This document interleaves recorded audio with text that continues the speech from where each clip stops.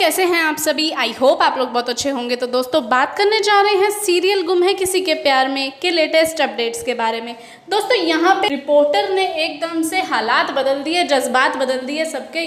यानी कि जो सभी ने स्पीच दी थी अपनी ईशान को लेकर इतनी बढ़िया सी, वो तो उसने छापी ही नहीं अपने आर्टिकल में और उल्टा सीधा अपने आर्टिकल में उसने छाप दिया। यहाँ पे सभी तो आग बबूली हो चुकी है बिल्कुल आर्टिकल को देख के और आर्टिकल को देख के गुस्सा आना बिल्कुल लाजमी भी था सभी का, क्योंकि वो सब कुछ उसने बोला ही नहीं आखिर। और यहाँ पे दोस्तों हैरानी तो यहाँ पर इस बात की हुई कि ईशान पहले तो बोल रहा था कि सभी ऐसा बिल्कुल भी कुछ नहीं कर सकती और यहाँ पर जैसे ही रीवा ने आग लगाई मतलब कि रीवा की इतनी इम्पोर्टेंट हो गई है उसके लिए कि जैसे ही उसने बोला, ईशान ने मान ली उसकी बात। यानी कि सभी के ऊपर रत्ती भर भी यकीन नहीं है ईशान को।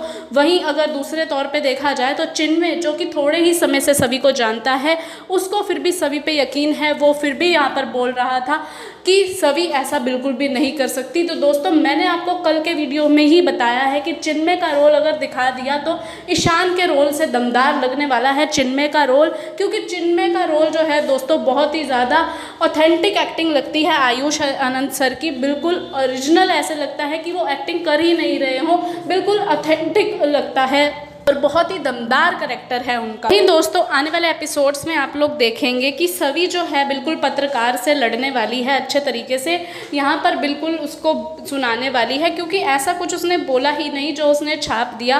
और यहाँ पे दोस्तों, ईशान को भी जब बात का पता चलेगा, यानी कि शुक्ला दादा ईशान को बताने वाले हैं कि सभी ने तो ऐसा कुछ बोला ही नहीं था सभी ने तो आपकी उल्टा तारीफ़ करी थी। तो यहाँ पर दोस्तों, हो सकता है ईशान शुक्ला दादा की भी बात ना माने, क्योंकि इस समय तो वो कुछ और ही एटीट्यूड में है। रीवा का बर्थडे सेलिब्रेट कर रहा है, वो भी इतने धूमधाम से। और वहाँ पर दोस्तों, रीवा को बोल रहा है कि सभी का नाम मत लो, यहाँ पे मूड स्पॉइल हो जाएगा। मतलब क्या ही दोस्तों, एकदम से सारा गिल्ट बिल्कुल धुल गया और फ्रस्ट्रेशन आ गई और एटीट्यूड आ गया। तो यहाँ पे दोस्तों, बहुत ही ज़्यादा बोरिंग लग रहा था जब रीवा का बर्थडे सेलिब्रेट हो रहा था तो।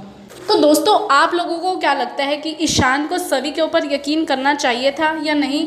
या फिर उसके रीवा की बात मानकर बिल्कुल सही करा। और दोस्तों, आप लोग अपने ओपिनियंस मुझे कमेंट्स में ज़रूर शेयर कीजिए कि ईशान को रीवा की बात माननी चाहिए या नहीं, जिस तरह से वो अभी मान रहा है। तो दोस्तों, बस यहीं तक था आज का हमारा वीडियो वीडियो अच्छा लगा हो तो लाइक ज़रूर कीजिए। धन्यवाद दोस्तों।